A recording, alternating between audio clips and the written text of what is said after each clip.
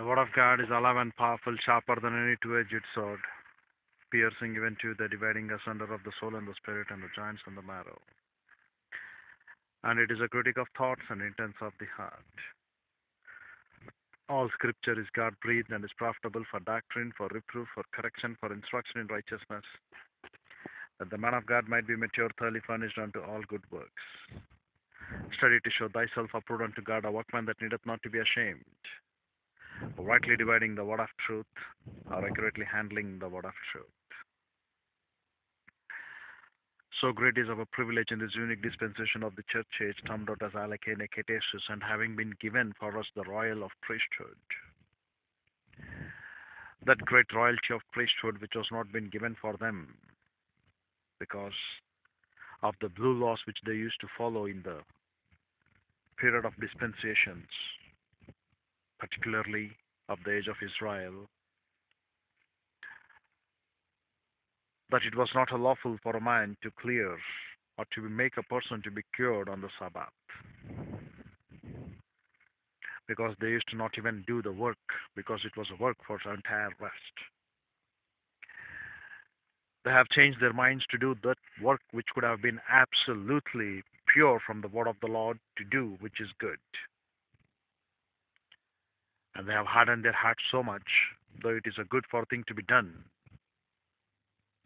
they would let it go, being strict ritual adherents rather than obeying, which is mercy and kindness in the sight of Lord. The same incident occurred over a deceased man in Luke 14 2 and 3. When the Pharisees and the lawyers were being asked, Is it lawful to do this thing? They were really might be shocked. How can he be the Son of God? Or how can he be a prophet or a bearer of God? Can do and disobey God's command? But you know the miracle what Lord has done there. And the lesson what we learn from that is the freedom of the priesthood what we are enjoying today. We are not really restricted that we have to rebound only on these days and Saturday or Sunday it is a rest for us to be rebounding. Now, the privacy of the priesthood which is given for us, why and that importance of great freedom bestowed upon us is what you and I need to understand, dear brethren.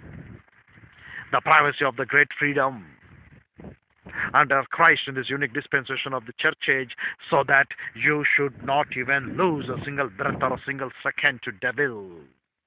But rather, you have to purchase the time by using rebound 1 John 1 9, and that is required the privacy of your priesthood. And that royal priesthood is a great commission given to each and every believer that you are not only a royal priesthood but a royal ambassador for Christ. And that great royal priesthood is what you take less than a second to rebound and get back into fellowship so that shifting gears of the angelic conflict could be much more effective for you. And in this shifting gears of the angelic conflict, though Satan is running around to allure you or to obscure you like a roaring lion and to consume you off, it is purely the ministry of Lord God, the Holy Spirit, to tell to you and to give you the information concerning the church. Because greater is the one that is in us than the one who is in this world. And not only it is going to give you the information, Lord God, the Holy Spirit will take you and search you diligently through the scriptures and cause you to become the fivefold effect of a spiritual mature believer in this unique dispensation of the church age. The spiritual maturity when a believer reaches to the maximum glorification of Christ is the ultima, dear brethren, wherewith you and I have been called to the praise of His glory and His grace. That great truth of ultima, which is not being told today, the personal impact, the historical impact, international impact, as a missionary. And every believer has been called to become a missionary. Do you know that? Missionary is a person who has been a spiritually mature believer who knows the doctrine And wherever he goes, he can spread the fragrance. Either a rose kept in a bedroom or in a kitchen or in a hall, it gives the same fragrance. Exactly the believer who has been mature enough in the word of the Lord will be a same impact either in the country where he resides or to the country where which he goes because he has the burden of Christ, not just to evangelize the people and tell them to believe in Christ, but to make them to be perfect and complete in the knowledge of our Lord by looking upon those people to whom at the moment of salvation Lord gives a bona fide gift and that bona fide gift taken into force and to train them up the pastor teacher and leave the congregation to tell them what is exactly to the praise of the worship of becoming a spiritually mature believers in Christ. So this international impact is of great value, and that's why in India we do have some of the believers who are absolutely spiritually mature. And that is the result of the great missionary work, followed by William Carey. In the first century, it was Apostle Thomas. In the 17th century, it was William Carey. But right now, in the 20th century, we need to have men who can rightly divide the word of truth for the inculcation of Bible doctrine. And why do we find so much of apostasy, not only in my country like India, even in, even in every other part, including the client nation, for my Lord, which is our Lord and Savior Jesus Christ, to him the USA, is purely the negligence of Bible doctrine. Negligence and the rejection of ICE concept in the pulpits. The isagogical, categorical, and exegetical word which has to be communicated in the pulpits, because of it, the pure negligence they have gone throughout. And who will stand in the 20th and the 21st century in my country, India? Who will follow me? To leave behind this international impact, not only to this world, even in the angelic conflict, and even in the spirit and even in the heritage impact which could follow for us when we become a spiritually mature believers in the knowledge of Christ.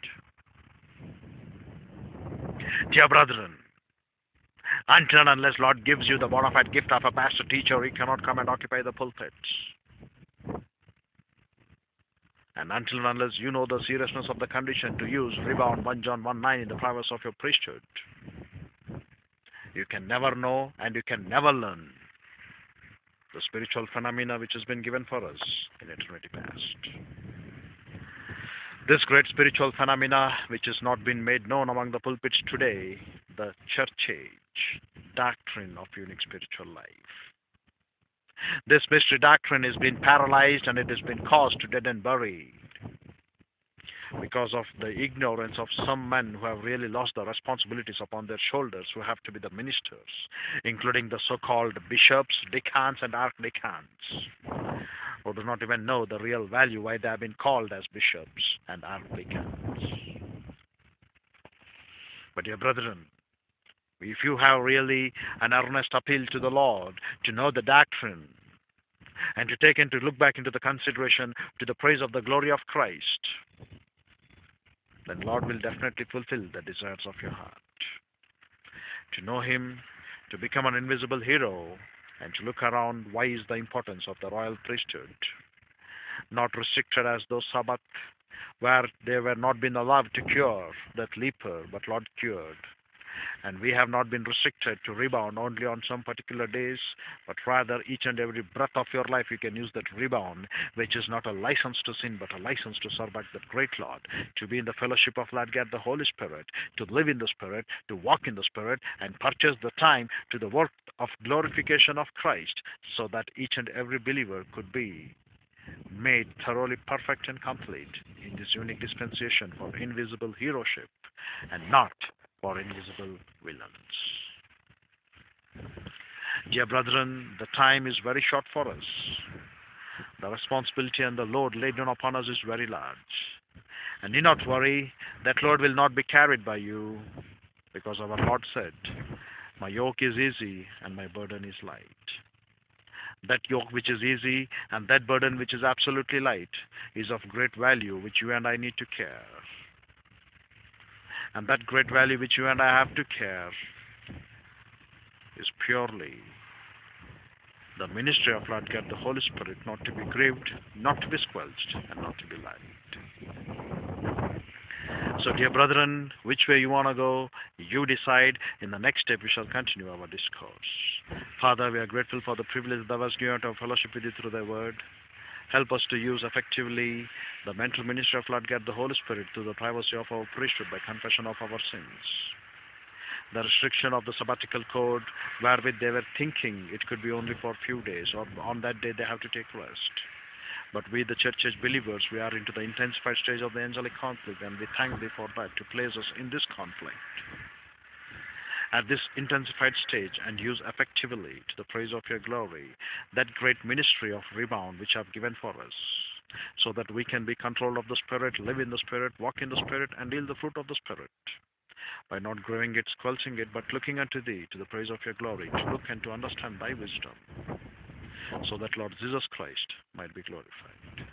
To this extent, we pray that Lord God, the Holy Spirit will enlighten us and make those things which are readily available for us to take as a challenge and to live a life worthy unto Thee. To Thee, to the maximum glorification unto Christ. For we ask it in Christ's name, Father. Amen.